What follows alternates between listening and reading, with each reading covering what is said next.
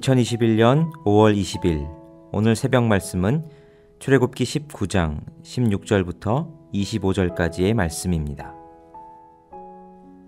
셋째 날 아침에 우레와 번개와 빽빽한 구름이 산 위에 있고 나팔 소리가 매우 크게 들리니 진중에 있는 모든 백성이 다 떨더라. 모세가 하나님을 맞으려고 백성을 거느리고 진에서 나오매 그들이 산 기슭에 서 있는데 시내산의 연기가 자욱하니 여호와께서 불 가운데서 거기 강림하심이라. 그 연기가 옹기가마 연기같이 떠오르고 온 산이 크게 진동하며 나팔 소리가 점점 커질 때에 모세가 말한즉 하나님이 음성으로 대답하시더라. 여호와께서 시내산 곧 그 산 꼭대기에 강림하시고 모세를 그리로 부르시니 모세가 올라가매 여호와께서 모세에게 이르시되 내려가서 백성을 경고하라. 백성이 밀고 들어와 나 여호와에게로 와서 보려고 하다가 많이 죽을까 하노라. 또 여호와께서 가까이 하는 제사장들에게 그 몸을 성결히 하게 하라. 나 여호와가 그들을 칠까 하노라. 모세가 여호와께 아뢰되 주께서 우리에게 명령하여 이르시기를 산 주위에 경계를 세워 산을 거룩하게 하라 하셨사온즉 백성이 신의 산에 오르지 못하리이다. 여호와께서 그에게 이르시되 가라 너는 내려가서 아론과 함께 올라오고 제사장들과 백성에게는 경계를 넘어 나 여호와에게로 올라오지 못하게 하라. 내가 그들을 칠까 하노라. 모세가 백성에게 내려가서 그들에게 알리니라. 오늘 본문의 배경은 시내산 자락입니다. 이제 우리가 함께 본 대로 어, 이스라엘 백성이 이제 출애굽하여 마침내 3개월이라는 시간이 걸려 시내산에 당도했습니다. 이 시내산은 앞으로 이스라엘에게 있어 아주 의미가 깊은 장소가 될 곳이었습니다. 이 시내산에서 이스라엘은 두 가지 중요한 계시를 받게 되지요. 바로 율법과 성막입니다. 이스라엘 백성들이 앞으로 목숨을 걸고 지키고 중시해야 어, 할 것들이 계시가 되는 곳이지요.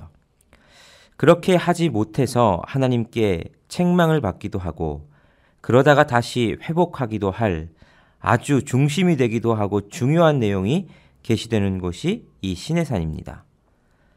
이 시내산은 이제 이스라엘이 하나님과 새로운 관계를 정립하게 되는 그런 곳이지요. 출애굽이 이스라엘이라는 민족의 새로운 시작이라고 말씀드렸다면 이 시내산은 이스라엘이라는 민족이 진짜 하나님의 백성이 되는 계약이 이루어지는 또 다른 새로운 시작점이다 라고 할 수 있습니다. 그리고 오늘 본문은 그 계약이 시작되려 하는 장면을 우리에게 보여줍니다. 그런데 오늘 본문을 보면 이제까지 그렇게 하나님께서 이스라엘을 용납하시고 구원하셨던 분이신데 오늘은 그 분위기가 사뭇 다르다 하는 것을 알게 됩니다. 저는 이 본문을 읽으면서 한마디로 오늘 본문의 느낌을 표현하라 하면 하나님께서 이스라엘에 대해서 선을 긋고 계신다 하는 느낌을 받습니다. 하나님이 이스라엘에게 자신을 드러내시는 것부터 그게 느껴지기 시작합니다. 16절을 보면 이렇게 기록하고 있습니다. 셋째 날 아침에 우레와 번개와 빽빽한 구름이 산 위에 있고 나팔 소리가 매우 크게 들리니 진중에 있는 모든 백성이 다 떨더라. 한번 생각을 해보시지요. 아침부터 먹구름이 사방을 뒤덮었습니다. 캄캄했겠지요. 게다가 그 먹구름 속에는 우레와 번개가 번쩍번쩍 빛을 내면서 어마어마한 천둥 소리도 들렸을 겁니다. 그리고 어디서 들리는지 모를 나팔 소리가 매우 크게 들렸다라고 성경은 기록하고 있습니다. 초자연적인 현상이죠. 이러한 상황을 겪는다 하면 얼마나 무서울까요? 저 같아도 여러분 같아도 이 모든 상황이 함께 일어나면 무섭지 않으시겠습니까? 그래서 본문은 모든 백성이 다 떨더라 라고 기록하고 있습니다. 게다가 18절과 19절을 보니 시내산의 연기가 자욱했다고 말합니다. 그리고 그 원인은 하늘로부터 큰 불이 시내산에 내렸고 그 불 가운데 하나님이 강림하셨기 때문이다. 라고 말하죠. 시내산을 태울 듯한 큰 불 속에서 하나님의 음성이 들렸습니다. 생각만 해도 두려운 광경이죠. 그 하나님의 음성 속에서 말씀하신 메시지는 백성들이 하나님께로 가까이 나오지 못하게 하라는 경고였습니다. 함부로 하나님을 보러 왔다가는 죽을 수 있다는 무서운 경고였지요. 경고를 어기고 하나님께 나아갔다가는 하나님이 직접 치시겠다라고 하십니다. 이런 모든 상황을 머릿속으로 그려보면 제가 그 자리에서 이런 광경을 보고 이런 음성을 들었다면 어땠을까? 등골이 서늘할 것 같습니다. 누구도 두려워서 감히 하나님께 나아갈 생각을 어떻게 할 수 있었겠습니까? 하나님이 친히 경계를 세워서 나오지 못하게 하셨습니다. 다시 말하면 하나님이 이스라엘에 대하여 선을 그으셨습니다. 선을 긋는다는 것은 선을 긋고 그 너머에 있는 대상과 거리를 두겠다는 뜻이죠. 선을 긋고 내가 있는 쪽으로 넘어오지 못하게 하겠다라는 의미입니다. 요즘 이제 학교들을 가보면 다 개인 책상을 쓰는 것 같지만 제가 어렸을 때만 해도 초등학교, 그 당시에는 국민학교였죠. 그때는 짝, 짝꿍과 함께 두 명이 한 책상을 썼더랬습니다. 이 설교를 들으시는 대부분의 분들이 아마 공감하시겠죠. 나무로 된 긴 책상 상판에 그 상판은 이제 초록색이었고 두 명이 각자 쓸 수 있는 서랍이 달린 그런 책상이었습니다. 그런데 새 학기가 되면 이제 새로운 짝꿍이 정해지고 그 짝꿍과 함께 앉을 때 종종 발생하는 일이 있었는데 그건 그 나무 책상에 연필이나 더 심하면 뾰족한 돌 이런 걸 가지고 책상을 박박 그으며 선을 긋는 일이었습니다. 그리고는 말하지요. 야, 여기 이상은 넘어오지 마. 여기 넘어오면 그거 다 내 거야. 그러면서 지우개가 넘어가면 선 넘어왔다고 그걸 가져가고 왜 가져갔냐 그러면서 싸우기도 하고 그러면 놀았던, 놀았던 때였습니다. 지금 생각하면 뭘 그렇게까지 했나 싶긴 하지만 그때는 그게 아주 자연스러운 일이었죠. 이렇게 선을 긋는다는 것은 단절을 의미합니다. 경계를 의미하죠. 너는 거기까지만 올 수 있고 여기서부터는 넘어올 수 없다는 것을 정하는 상징이 바로 선, 경계입니다. 이건 친밀함과는 거리가 멀다고 할 수 있습니다. 친밀한 사이는 선을 넘나드는 사이이죠.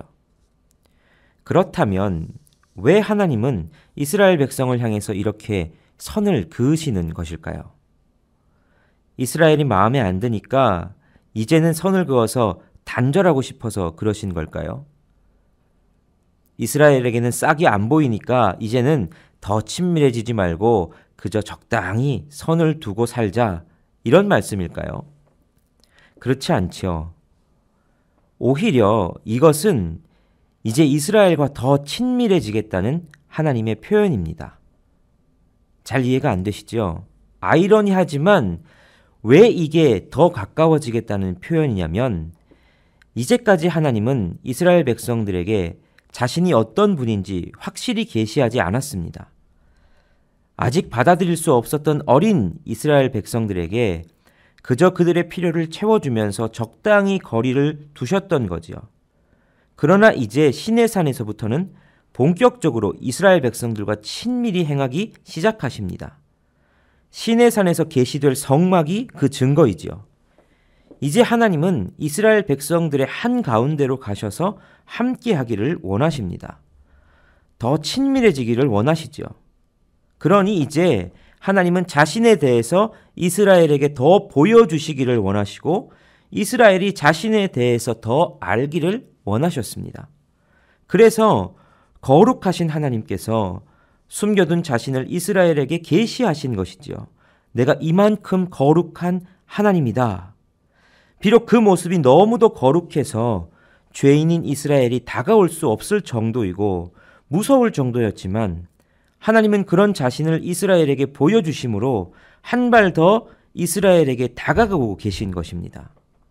경계를 세우심과 동시에 이스라엘에게 다가가시는 이 아이러니한 일이 지금 일어나고 있는 것이죠. 그것을 확실히 알 수 있는 장치가 하나 더 있습니다. 바로 거룩하신 하나님과 죄인인 이스라엘 백성들 가운데 중재자를 두신 것이었습니다. 지금 하나님과 이스라엘 사이에는 선이 그어져 있습니다. 그래서 둘 사이에 왕래나 만남은 일어날 수 없습니다. 그런데 하나님 쪽에서 그 둘 사이를 이을 수 있는 장치를 하나 마련해 두셨습니다. 바로 중재자 모세입니다. 이게 무슨 의미인지 아십니까? 선을 그으신 하나님께서 오히려 그 선을 넘으신다는 것을 보여주는 것입니다. 하나님은 선을 그으셨습니다. 그래서 이스라엘이 자신에게 나오지 못하도록 하셨습니다. 그러나 이 선은 이스라엘과의 관계를 단절하겠다는 의미의 선이 아니었습니다. 오히려 이스라엘을 사랑하셔서 그들이 해를 당하지 않기를 원하셨던 것이지요. 그리고 그분이 이 선을 넘어오는 그 사랑을 보여주시고자 중재자 모세를 세우셨고 그 모세를 통해 그 사랑을 증명하셨습니다. 이스라엘과 소통하고 싶다는 것이 이스라엘과 친밀해지고 싶다는 것이 이 중재자 모세를 통해 증명이 된 것이죠. 하나님은 모세를 통해 이스라엘에게 하나님께 나아올 수 있는 길을 알려주십니다. 하나님과 친밀한 관계를 맺는 법에 대해서 알려주시고 하나님이 어떤 분이신지 무엇을 기뻐하시는지에 대해서 알려주십니다. 선을 넘는 하나님이시죠. 이것이 하나님의 본심입니다. 얼핏 이 본문을 보면 하나님이 굉장히 냉정하고 무서운 분이라고 생각될 수 있습니다. 흔히 하나님에 대해 하는 오해가 그런 겁니다. 그러나 우리는 이 속에서 하나님의 본심을 읽어낼 수 있어야 합니다. 그 하나님의 본심이 우리에게 부정할 수 없도록 증명된 사건이 있습니다. 바로 예수 그리스도를 이 땅에 보내신 사건입니다. 하나님께서는 하나님의 독생자 예수 그리스도를 중재자의 역할로 이 땅에 보내주셨습니다. 인간은 어떻게 해도 하나님께 갈 수 없는 존재였고 가서도 안 되는 존재였습니다. 하나님은 하나님과 인간 사이에 선을 그어 두셨습니다. 그런데 그 선을 하나님께서 넘으셔서 중재자를 보내셨습니다. 그리고 그 중재자를 통해 우리에게 하나님에 대해서 알려주셨고 하나님의 본심에 대해서 알려주셨습니다. 우리가 너무나도 잘 아는 요한복음 3장 16절은 그것을 우리에게 알려주시지요. 하나님이 세상을 이처럼 사랑하사 독생자를 주셨으니 이는 그를 믿는 자마다 멸망하지 않고 영생을 얻게 하려 하심이라. 하나님이 세상을 얼마나 사랑하셨는지 그분의 독생자를 중재자로 보냄을 통해 알려주셨습니다. 그리고 그 사랑이 진짜임을 확증하셨다고 로마서 5장 8절은 말씀하십니다. 우리가 아직 죄인 되었을 때에 그리스도께서 우리를 위하여 죽으심으로 하나님께서 우리에 대한 자기의 사랑을 확증하셨느니라. 문제는 우리가 그 사랑에 대해 정말 제대로 알고 있느냐 하는 것이죠. 그저 하나님의 거룩하심만 보고 무서워 떨며 하나님께 나아가지도 못하고 나도 적당히 하나님에 대한 선을 그어놓고 하나님 넘어오시지 마세요. 부담됩니다. 이 정도면 적당합니다. 이렇게 말하고 있는 것이 우리가 아닌지 우리 스스로를 돌아봅니다. 오늘도 하나님은 선을 넘어 우리에게 다가오십니다. 한없는 사랑으로 예수 그리스도를 통해 확증한 그 사랑으로 우리를 사랑하시고 우리가 그 사랑을 알기를 원하십니다. 오늘 이 새벽 하나님의 사랑이 우리에게 쏟아 부어지기를 소원합니다. 그 쏟아 부어지는 사랑을 누리시는 연동의 모든 성도님들 되시기를 간절히 바랍니다. 기도하시겠습니다. 아들을 우리에게 내어주심으로 선을 넘어 우리를 향한 사랑을 확증하신 하나님 아버지, 하나님의 그 한량 없는 사랑을 오늘도 더 알아가기를 소원합니다. 우리 속에 있는 하나님에 대한 오해와 편견들이 사라지게 하여 주시고 하나님의 마음이 올바로 깨달아져 그 사랑에 대한 감격과 기쁨이 회복되게 하여 주옵소서. 세상을 살아가면서 지치고 힘들고 낙담하는 일이 생기더라도 우리가 그 사랑을 받고 있는 존재라는 것을 기억하게 하시고 이를 통해 또다시 힘차게 세상을 향해 달려가는 오늘 하루가 되게 하여 주옵소서. 예수 그리스도의 이름으로 기도하옵나이다. 아멘. 계속해서 크로스 크로스 기도 회복 운동에 동참하며 함께 기도하겠습니다. 이 시간을 통해 우리는 한 주간 동일한 주제를 가지고 온 교우가 함께 기도하게 됩니다. 이번 주간 기도하고 있는 주제는 기도 회복 운동을 위한 기도입니다. 오늘 함께 기도하실 때는 계속되고 있는 27minute pastoral pray를 위해 기도하겠습니다. 27minute pastoral pray에 기름 부어 주셔서 목회자의 기도가 풍성하게 해 주옵소서라고 기도해 주십시오. 이 시간을 통해 성도들을 위한 중보가 불붙게 하시고 교회를 향한 뜨거운 목자의 마음을 부어 주시기를 함께 기도하겠습니다.